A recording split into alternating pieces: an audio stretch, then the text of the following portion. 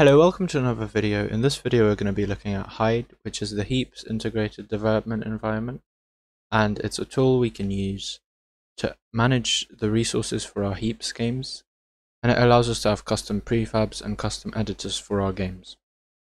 So what this video is going to be showing you is how to build this project on Windows so you can start making use of it because it's a really useful tool. First of all, I want to start by saying you don't have to build it. There is an option to use nightly builds. If you just go on the GitHub page, which will be in the description, and you just click here, there are nightly builds for each of these platforms. However, if for whatever reason you want to build it, then this video is going to show you how to do that. So first of all, we're going to go to this page and we're going to copy all of these commands and then we're going to open a command terminal and I use the Windows terminal but if you have a regular command prompt will also work. And I'm just going to paste these and it's just going to go and install them one by one. So now that all of these libraries have been installed to the newest versions we can copy the git repository for hide. So we go here and we control C to copy the link.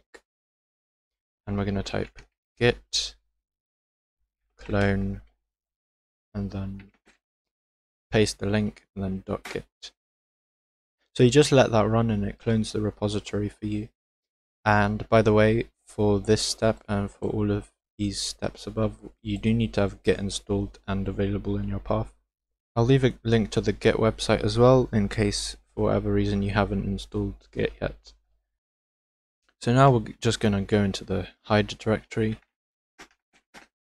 and we're going to run Haxe hide.hxml.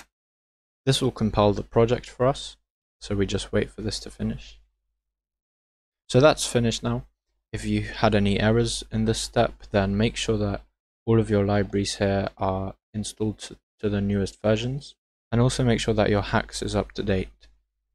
So now that we've finished compiling, we're going to have to get NWJS, which is the technology that Hide is built on top of.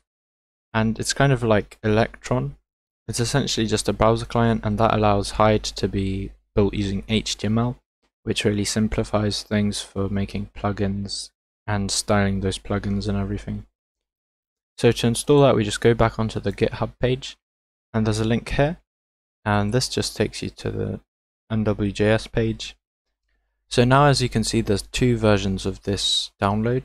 There's the normal version and the SDK version and essentially what the difference is is that the SDK version allows you to use the developer tools which is like inspect element. And that can be really useful if you're creating a plugin or if you're editing the hide source code. So we're going to go for this version. And we just save it. And then once the download's done you just open the folder you downloaded it to. And we extract the zip file and we're just going to go into the hide folder and then bin. We're going to extract it right inside of this bin folder. So now that we've extracted everything inside of this bin folder we're going to go to the folder it's been extracted to which is this nwjs sdk folder. And we're just going to rename it to nwjs and now if we run hide.cmd. So now as you can see the hide window has opened, so we've successfully built and installed hide. Now we're just going to have a look at this image and if you have a problem and it's not loading, then what you can do is you can click on project, renderer and then switch it to default and you might have to restart the app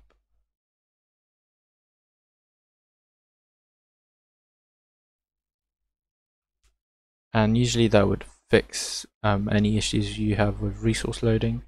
Because sometimes it's still a bit buggy. So we're just going to have a look and as you can see we can look at 3d models and images as well.